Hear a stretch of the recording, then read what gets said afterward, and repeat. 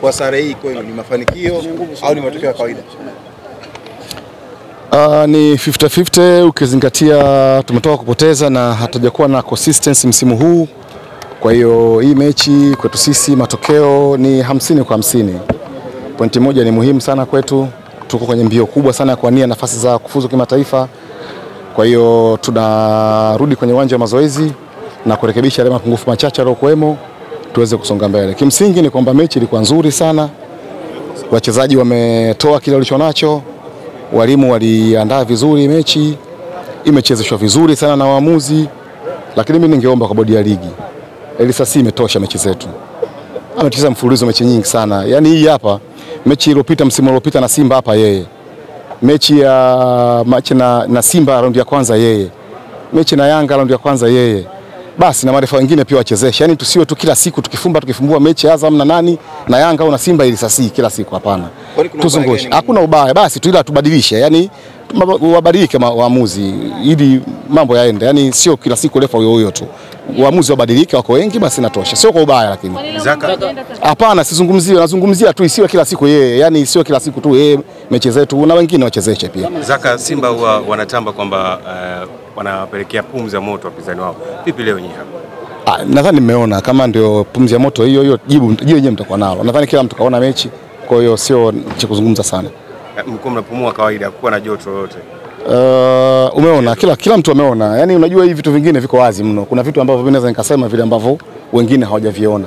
Kwa vile viko wazi mno kama hii, kama ni pumzi ya moto ndio hiyo. Anyway, si basi tumpata mafanikio.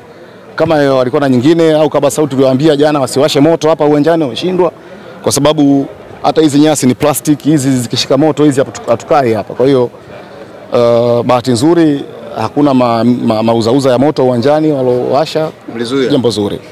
Alikuwa kemea tu, ah, ni mapepo. Ukikemea pepo, jamani, jana nimekemea, basi pepo limeshindwa.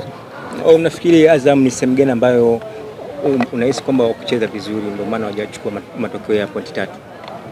Hapana, si, si, si, si, siwezi kuhisi. Yani unajua hisia ni kama sijui una, hautumii macho. Unajua hisia katika milango mitano ya fahamu, kama usipotumia macho labda masikio, basi ndio unahisi sasa kwa, kwa, kwa milango mingine kama ngozi na nini. Kwa hiyo siwezi kuhisi mi kama hatukushinda sisi, basi niongera kwa wapinzani wetu, yani kwamba walifanya kazi nzuri, walirudisha goli ambao sisi tulifunga, jitihada kubwa wamefanya. Kwa hiyo ni, ni hivyo tu.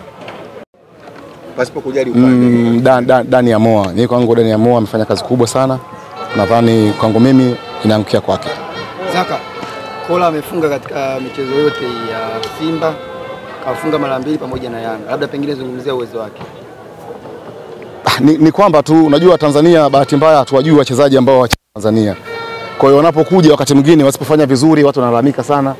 Kola hata sio mchezaji wa kuulizia swali kama hilo, mchezaji ambaye kacheza kwa mafanikio katika ligi kubwa za duniani, kacheza Ulaya, kacheza Champions League ya Ulaya, kacheza kombe la dunia la vijana, kacheza mashindano makubwa sana. Kwa hiyo sio mchezaji ambaye wakuwa na shaka kwamba eti unacheza na Yanga au na Simba basi unakuwa na wasiwasi na mtu kama Kola unaye. Hapana, Kola kacheza mechi kubwa zaidi ya hizi, kakutana na timu kubwa zaidi ya hizi, kacheza ligi ya Ubelgiji ambayo sisi kwetu sisi Mbona Samata kacheza kwa mafanikio makubwa, tumemsifia sana. Yeye alikuwa kule hata kabla ya Samata na akafanya vitu vikubwa sana kule kule pia. Kwa hiyo sio sio mchezaji wa kuwa na wasiwasi naye wala maelezo mengi. Na mechi inayokuja mnawaahidi nini mashabiki wa Azam?